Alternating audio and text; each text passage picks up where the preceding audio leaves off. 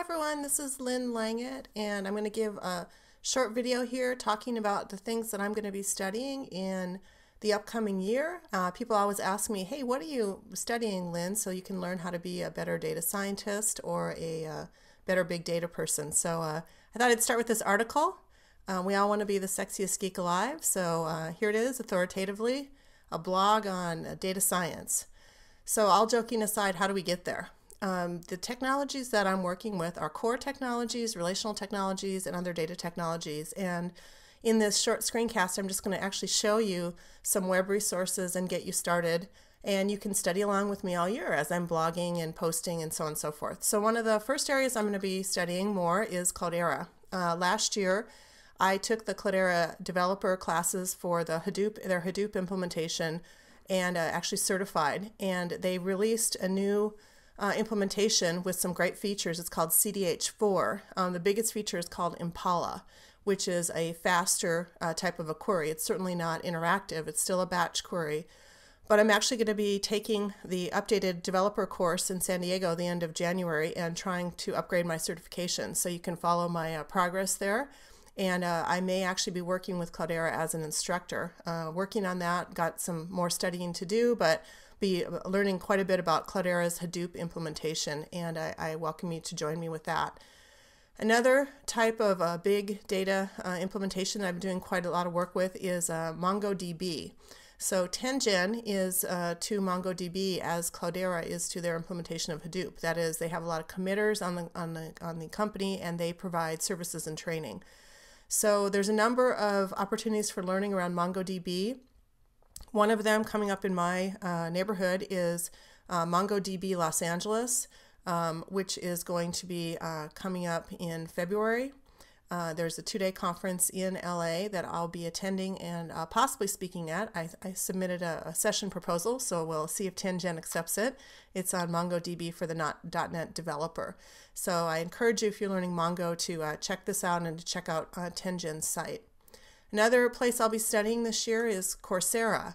Coursera, course, is the free online university courses, and I'm really excited to find this uh, highly recommended course from the University of Washington, UW, on Introduction to Data Science. So I've signed up for that, and I'll be uh, taking that so I can increase my perspective and, and get more um, information about uh, data science coming from a university level course.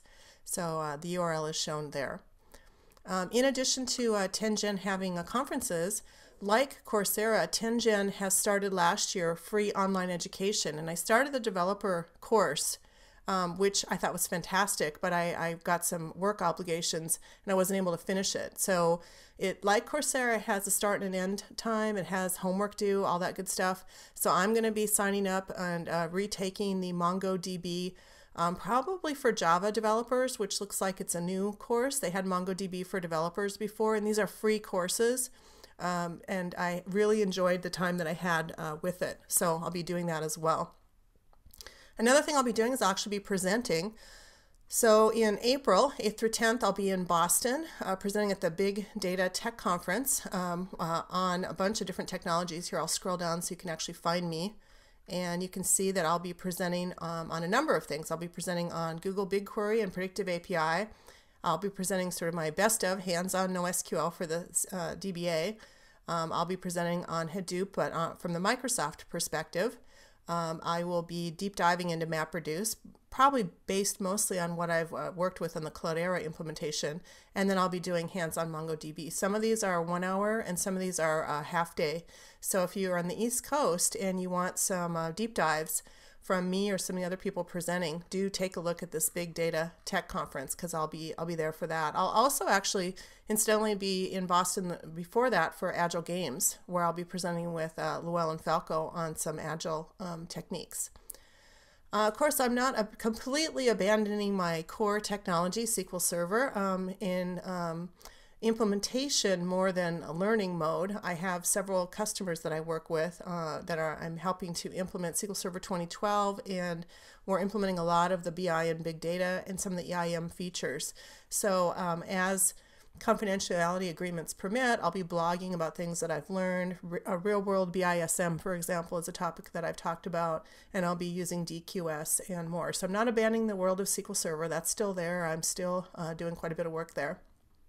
In addition to SQL Server on the Microsoft platform, I'll continue to be a beta tester for HDInsight, which is um, the Microsoft's implementation of Hadoop on Azure. I've done quite a bit of work testing and speaking about that. Um, I've been on the beta for well over a year now, wondering when they're going to come out of beta actually.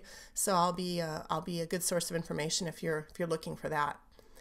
In addition to some of these core technologies, um, I do recommend if you're studying and learning that you actually um, uh, use some of the social networks to stay on top of the news releases. You know, big data is a moving target, and there's a lot of a lot of product updates and things that come. And what I do is I just do a search on the Twitter tag big data. And you can see just in the, I don't know, 10 minutes since I started recording this, um, there were 18 new tweets on, on this. So this is just a tip that I have to stay on top of the releases. Another way to stay on top of what's going on in big data and to become involved in your community is um, something that I put on my blog here, which is on my page for user groups. Um, one of the things I noticed last year, you can see here I have Orange County, Los Angeles, Riverside, and San Diego, is in LA and Orange County, there are quite a few new uh, user groups just around big data. For example, in the OC, we have the AWS user group, we have the Orange County Hadoop user group, MongoDB, Orange County, which is really quite refreshing because as much as I like LA, I don't always enjoy driving all the way up there. Of course, in LA, we have even more. We have MongoDB LA, AWS, the R data science language, um, and some others as well. So I'll be continuing to update this as I see this page, as I see new user groups pop popping up. I noticed that I think there's a Hive user group um, popping up in LA, and uh, as I attend and speak at them. In addition to some of the other big data technologies last year, an interesting thing that I did was I, um, I dived into the Facebook Open Graph. Um, and I, I, I, learned it, I did a little presentation on it, and I started implementing it on, on our nonprofit site, Teaching Kids Programming. So I'm going to continue to monitor what Facebook is doing with Open Graph, um, probably more in conjunction with my nonprofit. But if you're, you know, looking to learn more about that technology, um, take a look at, at Teaching Kids Programming, and as I implement it, I will probably be blogging about it as well.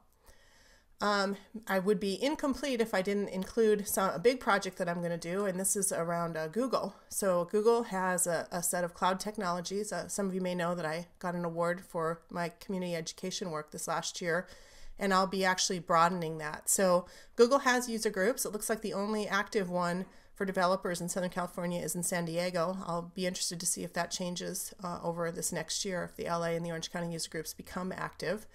Um, in, in lieu of that, though, I'll be spending a lot of my time online at developers.google.com. Um, in addition to using some of their technologies again for my nonprofit and for some actual customers, I um, will be creating a series of courseware for Pluralsight, and let me just add Pluralsight here, on, uh, on the Google Cloud and I'm actually going to start that today. So uh, if I say it publicly, then I have to get it out there, right?